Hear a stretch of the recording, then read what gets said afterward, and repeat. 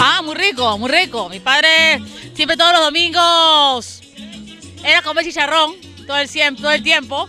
Y la verdad que me ha gustado, está bastante agradable. Ahora estoy degustándolo, si puede ver todavía. Y con la carapulcra, que la verdad que está bastante, bastante buena. Y tenga por seguro que voy a repetir. El tema de volar ese movimiento respaldo, ¿no?